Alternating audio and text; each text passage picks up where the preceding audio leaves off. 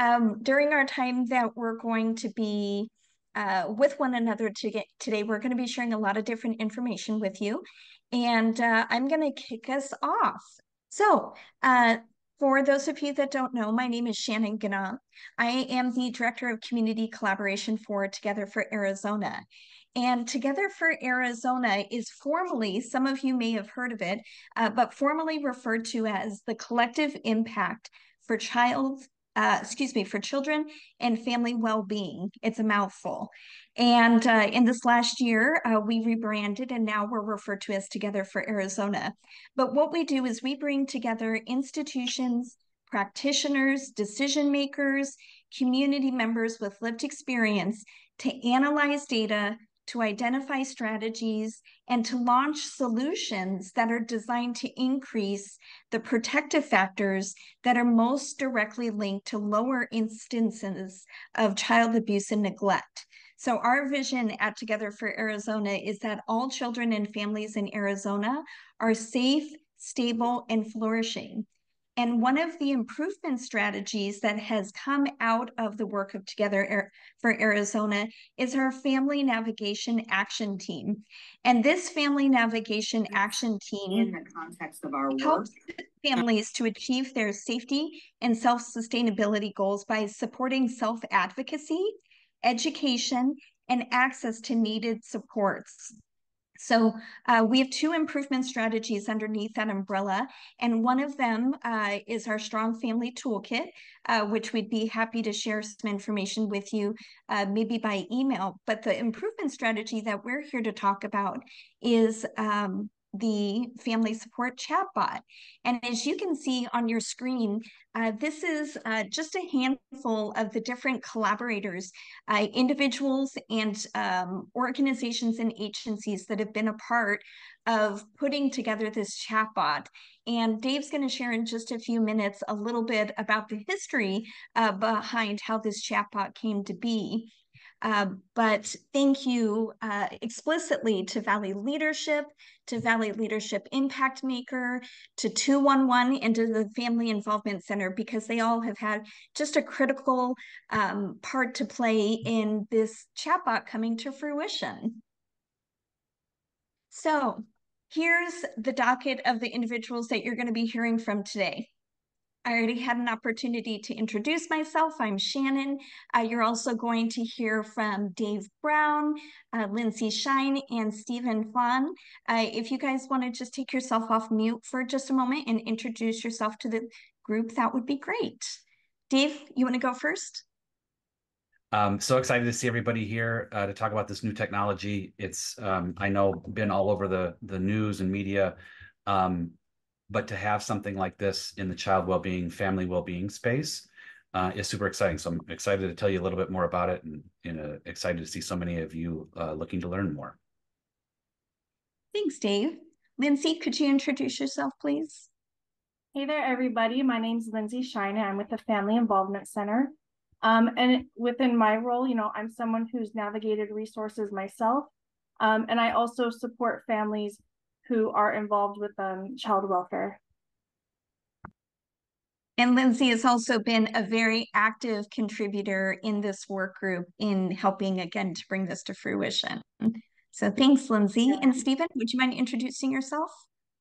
Afternoon, everyone. I'm Stephen Kwan. I'm part of the Valley Leadership Impact Maker organization, and um, I've been with the bot group for the better part of three years now, since uh, really we came up with it, and have been help building it technically and, and getting it ready to bring across the finish line. So thanks for being here today. Thank you. And Paige, I'm going to call you out, even though you're not going to be speaking explicitly. Paige has also had an extensive hand in being a part of the project management side of the chatbot, and she's our co-captain today, um, kind of more on the tech side of things, if you just want to say hi, Paige. Hi, everyone. Yeah, my name is Paige Susi, and uh, I'm the Director of Marketing at Valley Leadership, and I also help project manage the chatbot. So thank you, everyone, for being here today. Thanks, Paige. All right, so moving right along, here's what we're going to be covering today, guys. What you're going to be learning is why we built the chat chatbot and how it supports Arizona families. I'm assuming that's probably why many of you are on the call.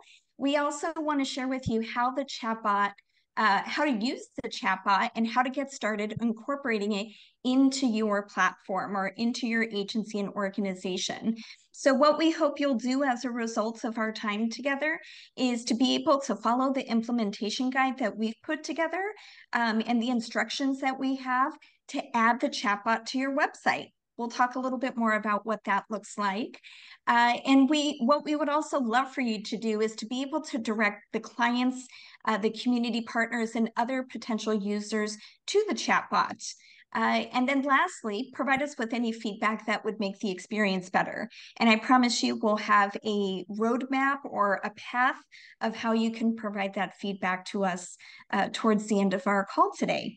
So I am going to turn it over to Dave, who's going to share with you a little bit of history about the chatbot. Dave?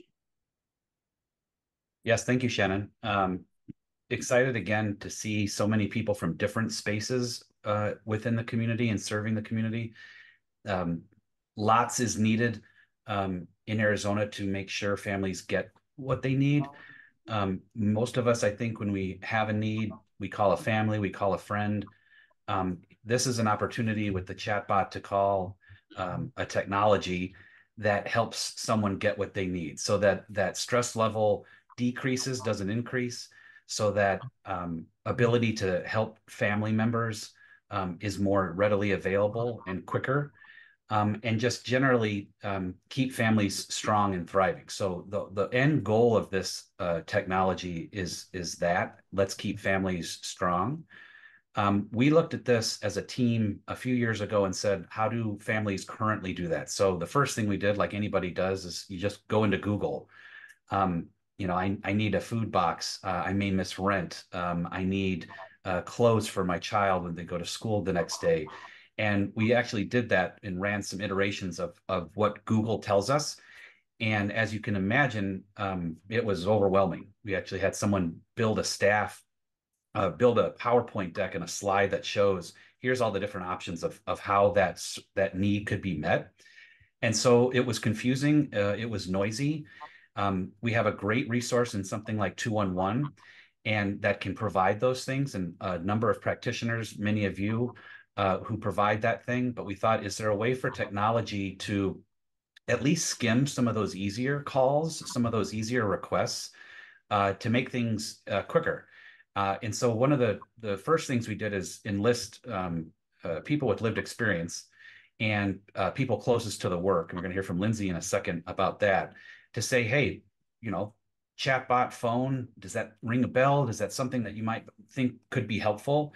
And one of the stories i always tell about how the, re the reduction in stress can happen is one person with lived experience said you know 211 is great but i got a call i usually call on the bus ride to work.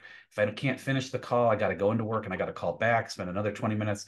It'd be great if i could just text somebody hey i need i'm short on groceries this week. Uh, can i pick up a food box on the way home from work and the bot can tell me through text or through a website that, yeah, here's your closest food box, here's the hours of operations, and I can pick something up on the way home from work. To me, and I think to others on the team, it felt like, yeah, that uh, overwhelming barrage of different resources, different phone numbers to call, which one does which. Let technology screw around with all that and just tell me where I can go pick up my food box. So that's what the bot has done.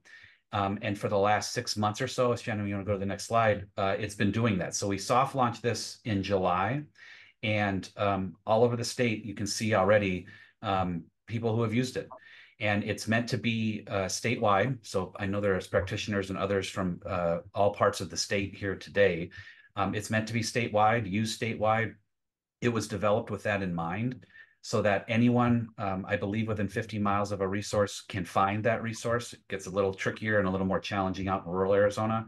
But for right now, uh, using the 211 database uh, with some additions, we can find people, uh, people, families can find three things right now, food, clothing, and phone. And those were the three areas we identified first as critical needs, uh, ones that came up over and over again with lived experience, and ones that we wanted to just start the technology um, process with, which Stephen will talk about a little more when it comes to how can a family um, use a chatbot to get what they need. And in addition to that, in a little more to talk about that with, uh, with Lindsay, is how the family can find that resource, but then also all of you practitioners who I know have, you know, your post-its, your lists, your Excel sheets of all the different ways to call and find out where you can get a service for someone. Uh, we we had you in mind as well. So uh, if we look at the next slide, we'll have Lindsay talk a little bit about um, some of the key features of the bot and why we have those features. Um, and Lindsay, if you wouldn't mind, give us a little more of, of your self-introduction and background um, and provide that kind of uh, commentary and perspective when it comes to uh, these four bullets, at least to start with, um, and then uh, we can go from there. Sure, thanks, Dave. Um, hi, everyone. Once again, my name is Lindsay. Um, so I'm a person, I've spent the last six years um, supporting other families um, while they navigate, you know, themselves being separated from their children. Um, so, you know, I usually have tried my best during that time to stay up to date with resources. Um, I came into the job um, because, you know, I made a lot of mistakes myself and, you know, got that lived experience and try to use that to help other families who are trying to get a leg up. So we all know that uh, poverty is a risk factor for neglect and it's not a crime. Um, however, it does contribute or is the cause of approximately 70% of removals nationally. Um, and it's the role of the community to take care of those families who are experiencing risk factors, which is where everybody who's here today, you know, this is where you all come in. By adding the chatbot to your webpage, you can help connect a family to those resources to help with some of those basic needs. Um, some of the reasons a person might find it appealing if they're already stressed out is that it's anonymous. Um, you know, you can access a resource discreetly. Um, it's going to be available outside of those typical business hours, um, so around the clock. Um, it has a very simple interface that's straightforward. They have an opportunity to preview it um, before they go there in person or even call to check it out. Um, you know, it does give them the contact information for it and it shows them a map of where it's at.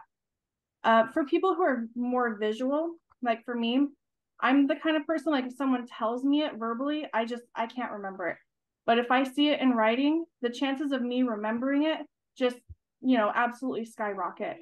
Um, it allows the person to screenshot it, they can share it.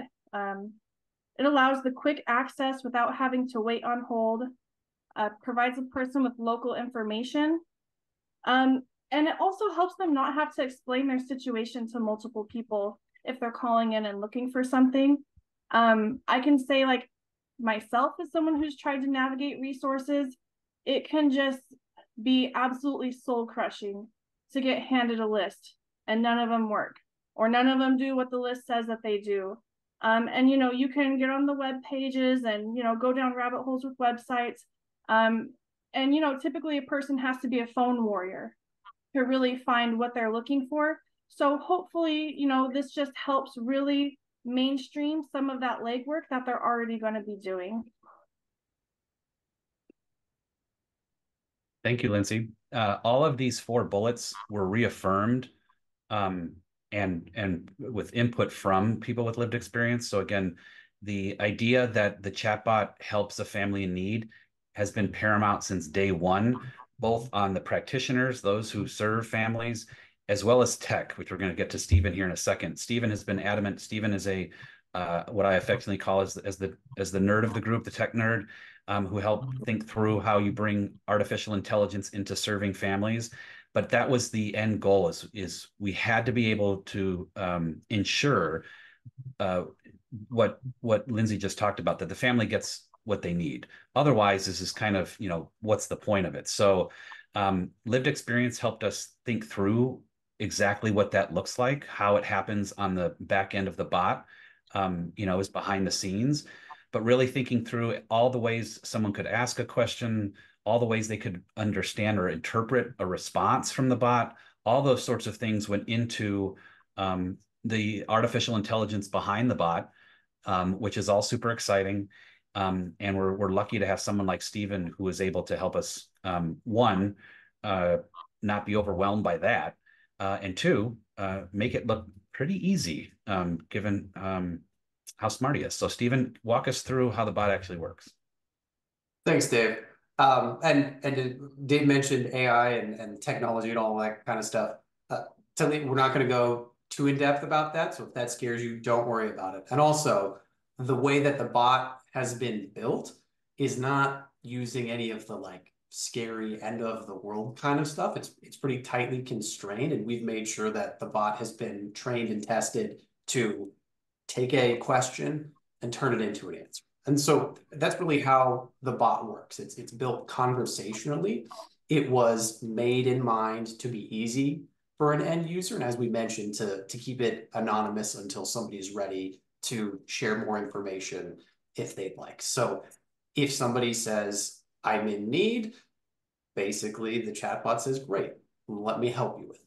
So really a couple of very easy steps for somebody to use the chatbot. The first step is just go to the website or text the bot. We have a slide a little bit later with the phone number, so y'all can see that, uh, save it if you'd rather do it. But basically, use a computer, use a mobile device, or text it with your phone. So you've got multiple ways that people can interact with the chatbot, whatever they're doing. As Dave mentioned, if you don't have cell phone service, but you still have uh, the ability to text, you can text the bot whenever you want, day or night, doesn't matter. If you'd rather use your computer at work, that works too. Um, and the great thing for practitioners is if you want to add this to your website, or if you have a website where you suggest that this be added, it is really, really simple. A couple of clicks of a button, a couple of pastes of a line of code, you're good to go. You don't have to worry about updating that. So that's all great. Step one, log in, launch, or not even log in, launch the chatbot, start the conversation, you're good to go. The second step is then you start having a conversation with the chatbot. You let it know what its need, what your needs are, and it will guide the conversation to hopefully giving somebody a resource. You can ask the chatbot questions directly or say what you need directly, but also through our experience, through kind of the, the boundaries that we've helped put in place on this one, we'll also prompt people for specific resources. So you can see in the picture there, we've got those five categories within the food resources to make it quicker for somebody if they didn't want to type something out or if they weren't exactly sure what really category. Hello. They, hello. Uh, they weren't sure which category they fell in. Uh, and we'll take a look at an example. I'll do a live demo here in a minute. Um, so that's step two. Step Stephen, can I just throw out please. there, you haven't mentioned it yet, but it's available in English and Spanish both. Great call out. Yes, thank you, Shannon. Unlike me, the chatbot speaks multiple languages, um, English and Spanish, and, and they work, work quite well. So step three is after you've given, after a user or you have given the chatbot enough information, the chatbot will spit out a list of resources for you. As Dave mentioned, it can go up to 50 miles away if you're in more of a rural area, but if you live more in an urban area, it may not have to go nearly that far out. But basically, this is the point where uh, we can say, or a user can say, I'm only comfortable giving you my zip code. We don't ask for a name or anything like that. They plug in their zip code, the chatbot will take a list, uh, take and return a list of vetted resources. Our partners at 211 Solari have been great and have a, a really trusted list that we've based this chatbot off of. And then you can see your results. Again, if you're on a phone using the chatbot, this is what it looks like on the right here. And you can scroll through your answers if you're on, if you're texting, looks a little bit different, but you still get the same info. You'll see uh, potentially five different little blurbs that, that tells you where you want to go. Uh, so that's the high level of it. Again, this is the slide that has the phone number. So if you wanted to text the bot instead of going to a website, you text 877-558-2261 and say family to give it a go. Uh, there's a few other words that you can use, but family is the best one to get it launched. And, and if you use the wrong word, if somebody uses the wrong word, don't worry, it'll prompt you. Hey, I didn't recognize that. Please say whatever it may be. So, all right, from here, thank you, Shannon, for posting that in the chat. From here, I will take the wheel and we will try this out together. All right, let's give this a. Very good. So this is the Together for Arizona website. If you've not visited, it is a wonderful website. Please, everybody, go and see it. And on this specific page for the chatbot and in your website, should you choose to be a part of the club, you can see on the bottom left, this little dot is the chatbot. So it doesn't take up an entire web's website's worth of real estate. So if you're thinking, oh, I'd love to add this to my homepage, but I'm worried about it blocking out the whole screen, it certainly is not. It's just a little bit. So to get it started, you click on the button and it pops up. It's thinking, it's going to say hi, my chatbot. Uh, you can, it first prompts you for your language. I'll speak in English, so we'll go through that. And then you get into it. Again, we've talked about there are three categories that the chatbot really is laser focused on, food, clothing, and cell phone assistance. I'm a little bit hungry, so we'll talk about food assistance and see what options come back here. And again, if you did not want to choose from one of the categories, you could type in something, whatever you want, and the chatbot, again, if it falls in one of those categories that we support, the chatbot will direct somebody into that conversational flow. And if it does not recognize it as being one of the categories that we support, it will say, I'm sorry, I can't help you. And here's the phone number to reach 211, or here's the website to get to 211. Um, there we go. So it's coming back and saying, great, you've said food. Here's some more questions so I can make sure that I get you the right resources. Um, let's say that we want to do a hot meal center. And then this one, it's going to say, okay, great. Thank you for that. Let's get some more information to get you to the right location which is where somebody would have to put in their zip code. Uh, as we talked about before, trying to keep this as anonymous as possible for as long as possible, we first ask for a zip code and return resources based on that zip code. If those resources aren't correct, the user has the ability to say, no, that's not right. I want to get more specific. And at that point, they can put in a specific address, home, work, kids' school, whatever it may be, and it will spit something out. So I'm going to give my home address, zip code, and we will see the resources that come back. So as you can see, it gives a, a location here. It's the name of the resource, and then it's the address. And if you click on the little buttons here, it will, ooh, it's asking another question. We'll get to that in a second. If you click on the little buttons on the side here, it will take you through the carousel so that you can see all of the resources that it provides. Um, if you want to go forward with it, you can click more details or take a screenshot or just punch that into your uh, Maps app. Whatever you want to do, these are the resources it has returned to you based on the zip code that was put in. As we talked about a little bit earlier, uh, it gives you the option to say, actually, these aren't good enough for me. And you can provide a specific address for the bot to key into. Or if that doesn't work, it will increase the search distance to try to give you more and more. Uh, while that loads, jumping ahead for a second, the bot actually loves feedback, much like we on, on this collective impact team do. Uh, and so we've tried to build feedback loops in that give people the ability to tell us how things are going. If they're loving the experience, that's great. We want to know about it. If the experience isn't great, well, then we don't love that, but we also want to hear about it as well. We we collect data again; it's anonymous, but we will be able to see how the ratings come back in, then use that to make the bot better over time. If it's a bunch of one star reviews, well, then we can dive into the details and see were people getting stuck? Was it general slowness? Was it was the bot was down or something like that? Was it the the color that was green? But long story short, we've given us the ability to get feedback from actual users to kind of mine the data a little bit to determine where we want to go from there. Um, well, this thing is bouncing around and I don't want to take everybody's time. It's probably my internet connection, but trust me, it allows you to put in a more specific address to get better resources based on what's been given above.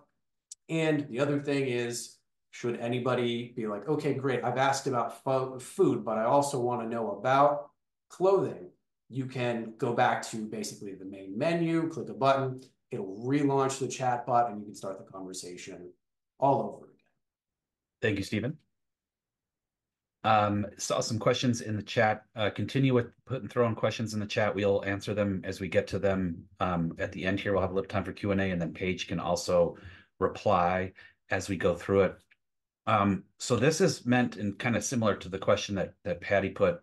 Um, the Facebook page, yes, we're looking into that. There are some school districts that are actually interested. They're also talking about how they mostly talk to their parents through the school's Facebook page, not necessarily the website. Uh, Shannon also showed you how you can text family to get direct access to the bot. Um, the togetherforaz.org backslash chatbot is one website that this is on. It's also on the Impact Maker website. The goal is that it's all uh, on many websites. So it's it's it's applied and put on, which I'm going to get to in a second, anybody's website, so that it's not just you got to go to one specific domain in order to access the chatbot. Um, it can be on your own website. Uh, it can be on um, a partner that you you regularly go to's website, um, so that it's it's as available and out there as possible. So we're going to talk a little bit about how that happens. This is the three click um, uh, steps that Stephen talked about uh, that just get it going on your website. If Shannon, you want to go to the next slide. Um, pretty simple. Uh, there's a snippet, which is basically a, a, a, string of code that you will put on your website, and then uh, voila, your the chatbot's on your website. So again, the goal here isn't that this just lives in one website. It can live anywhere on anyone's website. There is a form um, and a quick agreement you have to uh, sign so that we know that uh, you have it on your website. Um, but then you can go straight from that as a practitioner. You can say, hey, visit our website, helpingpeople.com. You'll always have the bot there. You can refer people directly to your own website uh, to find, again, the food, clothing, or cell phone assistance. Um, we're also looking to uh, constant feedback. This thing has been tested 9 million different ways.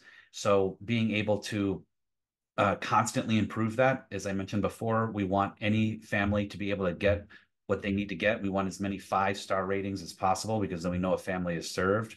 If if we can't do that, then there's really no point. Um, no, go ahead, go ahead, Shannon. There. So this is how it looks when it's on your website. Again, this is the T4AZ family support chatbot website or web page. You can see the chatbot little bug there in the corner collapsed, and then you can see it opened. So again, fairly simple. You've seen this on Amazon site, Cox Cable, your phone company, SRP everywhere. Uh, this can live on different websites. So if you're working with families regularly, it's probably easiest just to throw it on your own website so that families know and you can refer them to um, all the work that you're doing um, within your own organization. Next slide will show you what it looks like, or I guess we won't. Nope, there we go. Uh, what it looks like on the uh, phone from a website. So that's on the left there is the VL Impact Maker website. You can see it there living. Um, and then when it's open, it fills the screen. So again, pretty standard what this looks like from most uh, phones. And then the last slide here.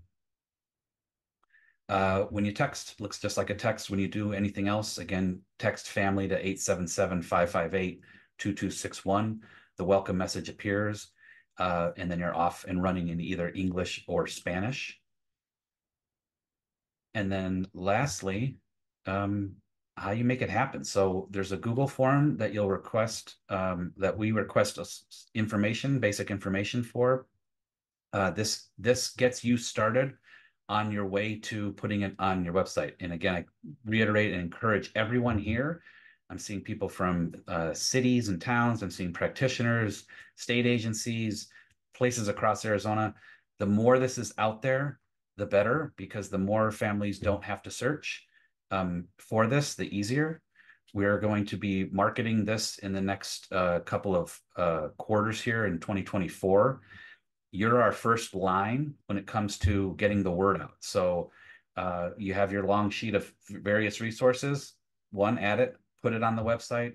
Uh, please forward anybody or any organization you think this could be uh, an easy placement on their website or that gets lots of traffic uh, we're going to start doing other marketing activities to get this spread far and wide.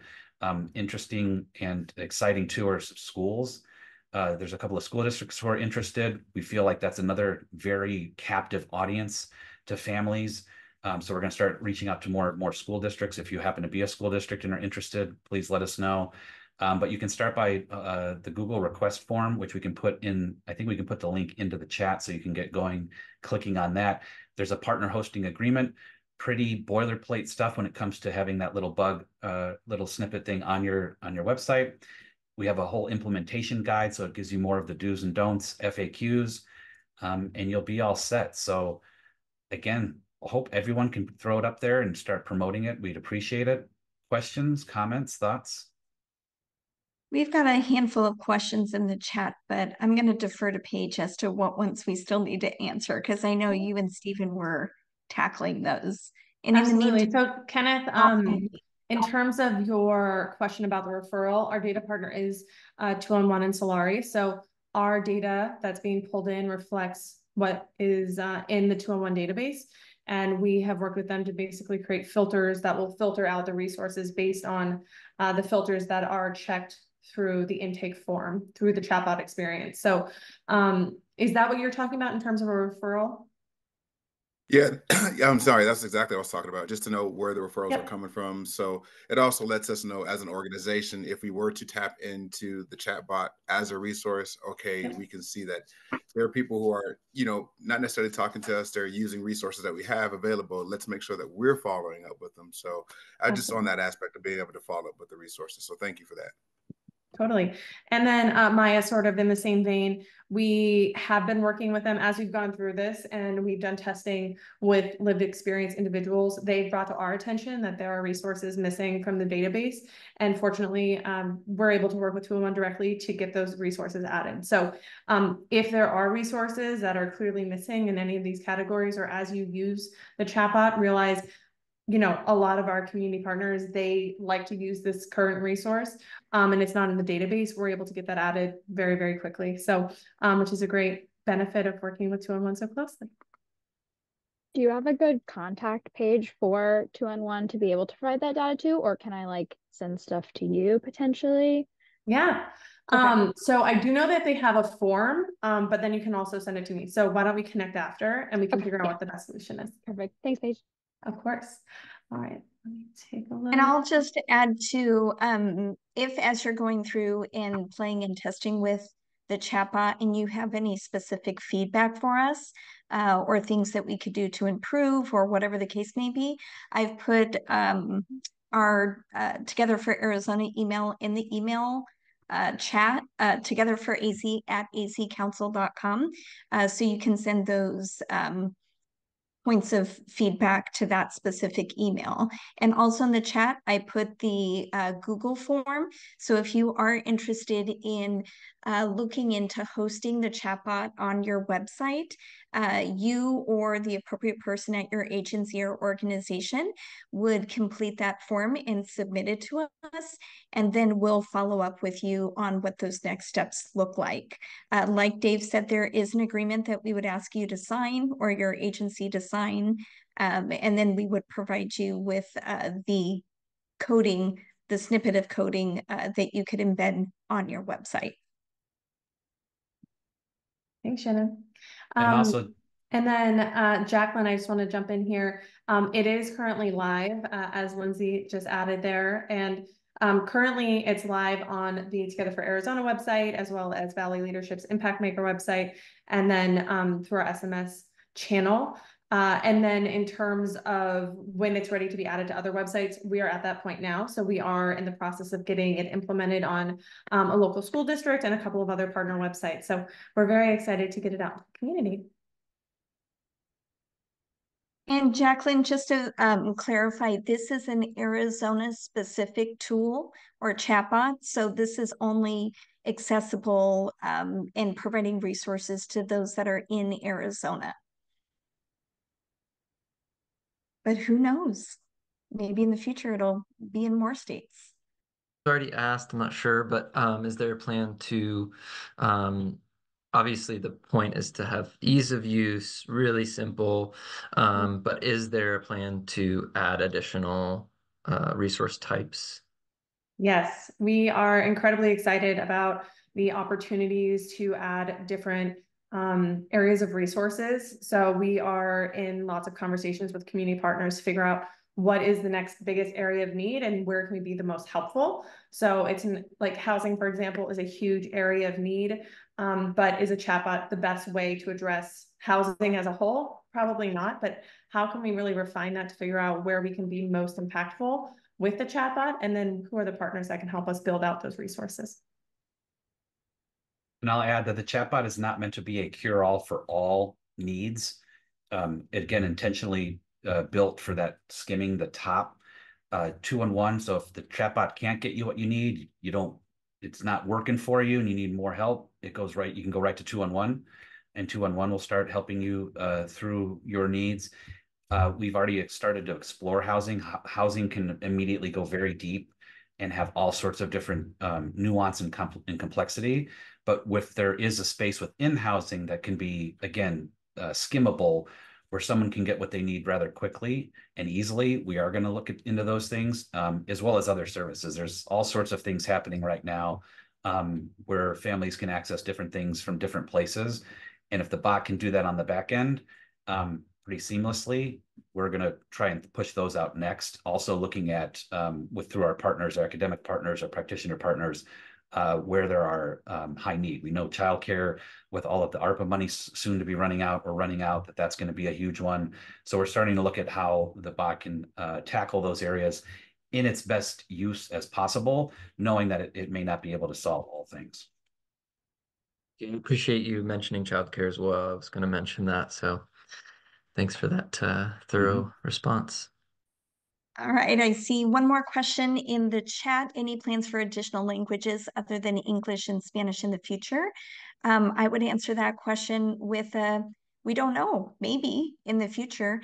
Um, it was really important for us, at least in this first version, uh, with launching uh, these specific types of uh, resources with food, clothing, and um, phone to make sure that it was successful in both English and Spanish.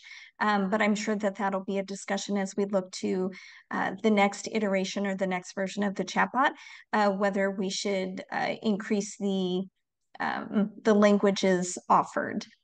So thank you for the feedback on that. One quick other question. If I mm-hmm. want to share, um, you know, this with a partner agency that I think might be interested in hosting the chatbot on their website, for instance. Um, do you all have like a quick, you know, blurb or something to share with them? We do. Yeah, and Paige, so Paige, go ahead. We will be following up today with um, the recording for the webinar. So if you do want to send this along, because I know it is a little more in depth, um, that is going to be a great resource. We also have a one pager that's intended specifically for partners for hosting. So um, Shannon, let's make a note and we can include that one pager in the email follow up as well. Um, there are also, there's also like a marketing guide that we have for promoting it both to individuals um, who will be the live, uh, the live experience users of the platform as well as partners. So um, we have a variety of different resources depending on who you're reaching out to. Thanks. Of course. Great question. All right. Uh, there's one more question in the chat. It looks like uh, is the chat chatbot program working with it's a United great question, Justine. yes, we have been chatting with them. Uh, we see there's yeah. so many parallels in the work that's being done with the different platforms. Um, and so that those conversations are being had and we do see the potential there. So hopefully uh, next webinar, I can say that yes, we are definitely working with them. Yeah, we've we've had conversations with the closed loop is is the chatbot, you know, the front door to that broader system. One key difference uh, and point of discussion going forward is that the chatbot currently is anonymous, which uh, uh, lived experience said they want an, an anonymity. They don't want DCS to know something. They don't want parole officer. They they they just want to be able to find what they need and not have to uh, be part of something. Um, there are uh, advantages and disadvantages to being anonymous. When you look at the closed loop referral um, and being able to sync in and, and have your whole um, history known can also be a good thing and a bad thing. So we're we're looking at how those two live together. Um, they've been on parallel tracks intentionally for the last couple of years to see the progress made on this on the closed loop referral and the practitioner sign up. Um, but ultimately, yes, not only um, with user experience, um, but also uh, database. There's going to be, you know, 211 Solari database, closed loop's going to have a database. There's a couple other databases. How do we get everything working in one in one fashion so that families are served uh, best? So that's that's still to be uh, determined. Awesome. Well, thank you so much, everyone. Um, as we said, we will be following up with an email with the recording, with the one pager and the information to get started. So as Shannon mentioned, we have the intake form and then we have an implementation guide that really walks you through every step. Um, adding the snippet is super quick and easy. So um, if you do run into any issues though, feel free to reach out. We are happy to help you troubleshoot anything, getting it set up. And Shannon just dropped that form into the chat. So please take a look at that. And we are really excited to continue the conversation. Thank you so much, everyone. Thank you all for joining us today. It's uh, great to have you all. Thanks, everybody. everyone. Thanks, Shannon. Thank you. Bye, everyone.